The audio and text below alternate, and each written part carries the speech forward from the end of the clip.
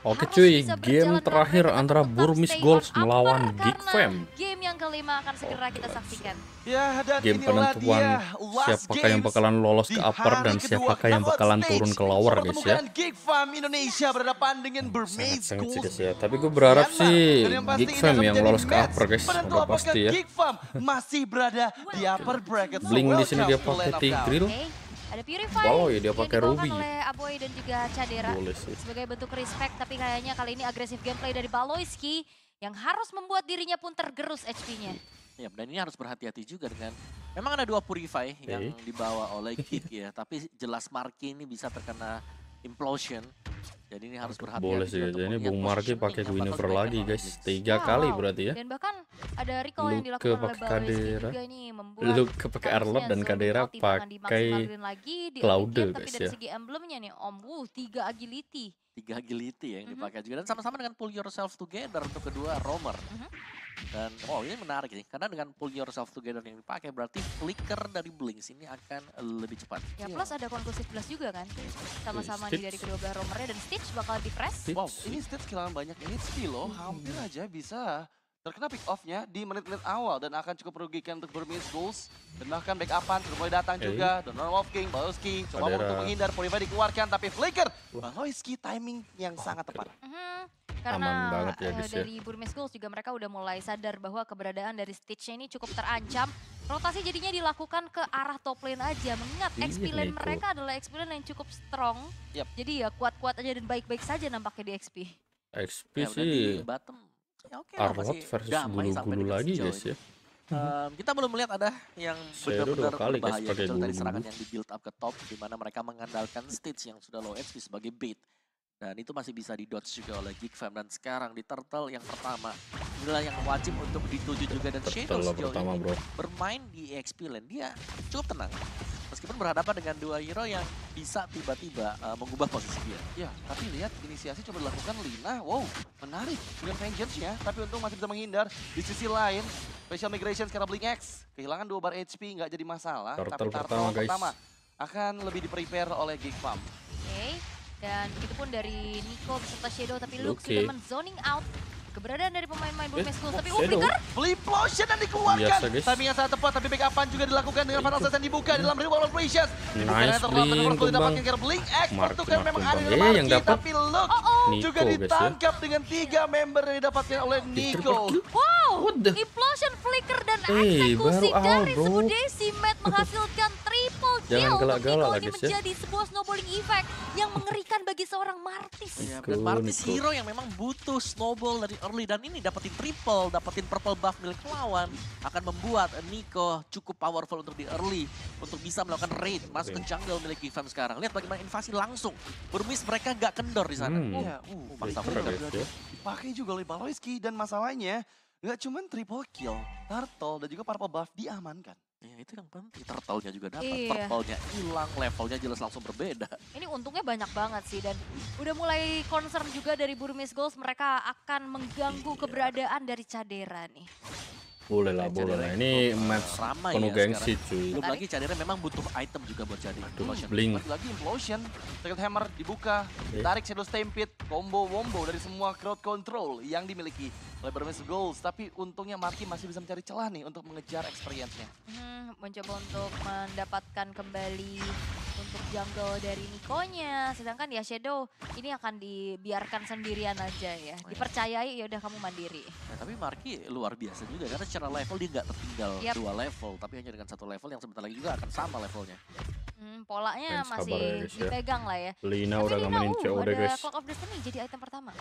Masih tetap eh, standar berarti mengincar untuk durability yang bisa dimainkan sebagai match sembari bisa eh, mendapatkan juga untuk magic power. Sedangkan Blinks ini dia implosion yang hit dua kali bahkan ya kalau kita bisa bilang. Tadi satu yang besar turtle dan juga tadi satu menuju ke Baloiski. Iya, dan itu repot banget ya sekarang karena kita tahu sendiri kombinasi implosion flicker itu kan bisa langsung nge-trigger efek stunnya juga. Itu akan mempersulit nantinya Geek Farm. Apalagi Purify yang memang di bawah hanya oleh Kadera juga apa. Turtle Ini yang kedua guys ya. Punya potensi yang gede banget ya dari Blinksnya. Cuman Turtle yang kedua sekarang akan diambilkah tapi Marky kegeser. Iya, itu nggak bisa sih. Special Migration langsung di cancel dan Blink X juga mempersiapkan kembali. Berada di bagian depan sana, Implosion dipersiapkan tapi Luke menghindar dari semua. Split-split yang dikeluarkan, Blink X Implosions kembali masuk, tapi bro. backupan dengan Emo Bandit berhasil menghindari. Netherland dibuka, reward manipulation diaktifkan Aboy. Lagi-lagi mendorong mundur tiga member dari Burmese Gold, tapi Luke terkena ya. damage. Target keduanya Aboy, double ah, kill ah. bahkan mencari keberadaan dari guys. yang nggak punya cukup banyak HP berhasil menghindar Nico. dari Downfall of King. Aja. merelakan outer turret mid lane mereka. Waduh, ini sebuah kerugian yang massal dari Geek Fam. Mereka kehilangan Turtle, mereka kehilangan Aboy. Dan kita bisa melihat bagaimana di gold lane-nya juga udah ditekan terus-terusan sama Stitch. Ya, Cadera butuh item tapi Stitch memberikan pressure dan tadi ketika tumbangnya Aboy itu shieldnya udah Maki. habis tadi.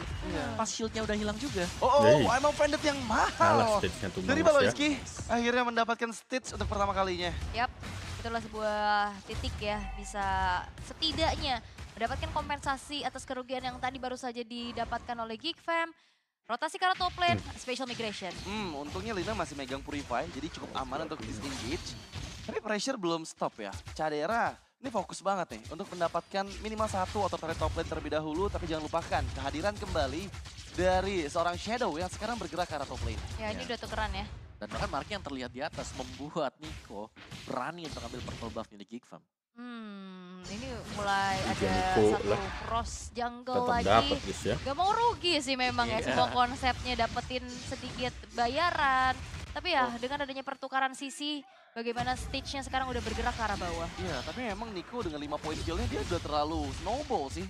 Dia bakal susah untuk bisa di pick off, apalagi ketika portal masih ada dan sekarang bro, Play Blink. X mempersiapkan inisiasi dari bagian belakang. Kadera terlihat tapi untungnya masih ada backupan dari Void Blast yang dikeluarkan. Tapi Shadow. Bandit fokus ke Shadow. Masih sempat menggunakan Netherrealm dan Lina. Itu digunakan pada saat Turtle yang ketiga Stitch-nya kali dapat berhadir. Ke bawah, guys. bahkan mirror terjadi bagaimana outer terakhir turret ya. juga berhasil untuk dihancurkan di tangan dari stage-nya. Tapi ini juga leveling dari Marky udah mulai ketinggalan nih. Ada gap dua level ice di kedua belah tangan. Baloy ya. Implosion juga masih disimpan tadi oleh Blink. Dia nggak buka Implosion juga menunggu adanya uh, Purify yang di-trigger dan belum ada Purify yang dipakai oleh Fam, jadi belum dipakai juga untuk Implosionnya. Ya ini bakal susah sih sebenarnya kalau lagi ya. Karena Blink X oke, Blink X yang dituju Emma Bandit connect. Fokus, langsung all in guys. Blink X berhasil didapatkan. Hampir aja. defensif, tapi Shadow di bagian belakang sana.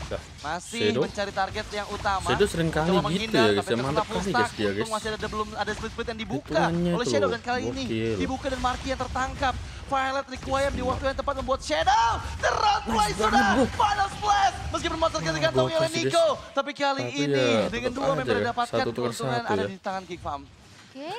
Dan itu bermain terlalu dalam juga dan dan ya. perlu diingat final slash bisa bikin out of position. Kadera. Dan overextend yang dilakukan oleh Kadera. langsung terpunish. Wow, Solo kill kah? Wah hampir guys. 1v1, hampir itu kalau nggak ada blink mah aman guys harusnya. Mumpung masih belum ada win of nature ya. Ini masih bisa nih dia tabrak tabrak kayak gitu. Kalau ada win of ah, nature ah, bisa. itu bakal beda cerita namun gak bisa, guys. ini akan menjadi perfect turtle untuk Nico. Iya padahal itu Nico nggak ada retribution loh. Iya. Tapi ada Sacred Hammer tadi yang ngedorong Maki. Kena Sacred Hammer ya tadi. Iya. ya, dengan 10 ya udah diamankan oleh eh, Stitch ya. bahkan sekarang point kill untuk Nico ini dia. Dia akan sangat sulit untuk uh, bisa dikejar dari output damage yang punya Hunter Strike dari defense yang sudah memiliki satu Radiant Armor. Jadi damage yang diberikan Gin bersama dengan Junior ini akan sedikit diterima oleh dia. Hmm.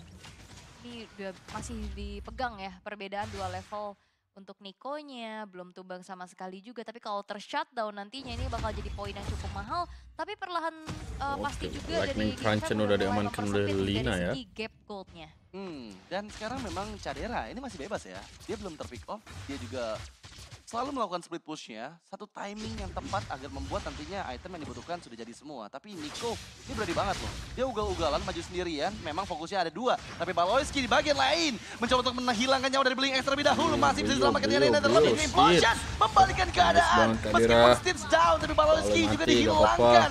Dan Nico, sekarang Nico, Nico gasin. nggak punya Nah, momentum untuk gokil. loyal karena dia pun di shutdown Nah, sudah beserta dengan ya. Lina dan menjadi keuntungan Dek? Farm. Shadow yang tersisa Shadow dan ngapain, Dek? Dek.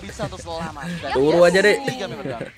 Spree diamankan juga. Boleh. Ini menjadi sebuah modal Ya, lagi buat Cadera guys. yang belum tumbang pasti sama Geek Fam sekali. yang menang ya. Outer middle turret akan ditarget oleh Geek Fam dan sekarang ini adalah titik balik untuk mereka Ih, bisa Lina. menguasai game yang kelima. Lina nggak nggak ngajak main guys ya. Terus-menerus. Oh, oh, oh, tapi lihat gimana. Doang Lina. Look masih sempat untuk vengeance dan Berbatang. sekarang kondisi Geek Farm memang megang lah. kendali. Iya, betul hanya untuk mengeluarkan semua atau siapa pun yang berada di balik Nah, dan nggak ada sama sekali yang dapat, guys, ya. Purple buff dicuri oleh Marky. Lord juga akan spawn sebentar lagi. Keunggulan yang diperoleh Nico di awal ini Corrosion sudah Fight mulai di terisi tangan dan Kadera, bahkan tadi Guardian di tangan harus ya. Iya, itu mahal Marky banget kan udah dua item sih, guys, lumayan, diciptakan guys.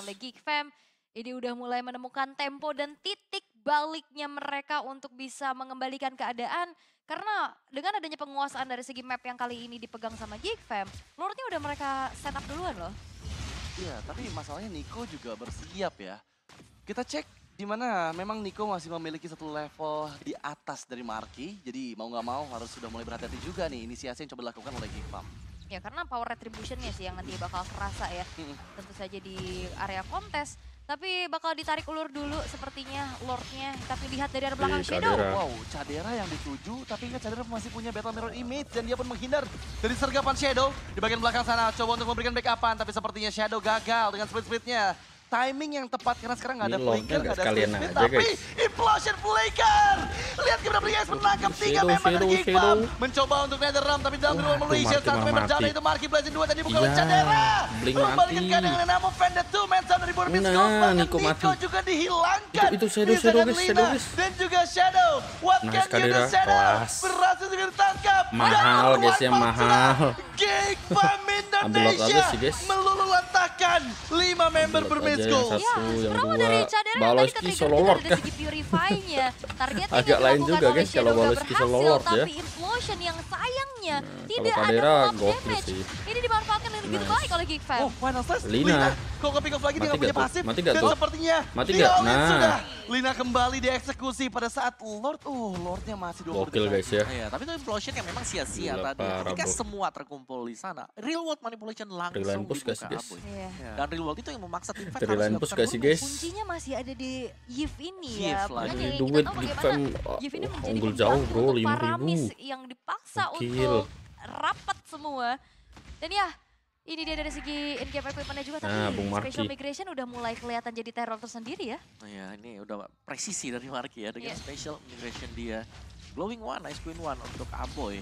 Jadi damage-nya juga sudah mulai dapat bagi Gift-nya. Mhm. Continuous damage yang bisa diberikan dari Void Blast dan juga Void Crystal. Reload yang sudah berjalan juga. Ini kan bisa ditahankah untuk uh, Brumis? Karena menurutku mereka masih bisa tahan kalau mereka defense-nya agak ke dalam sedikit.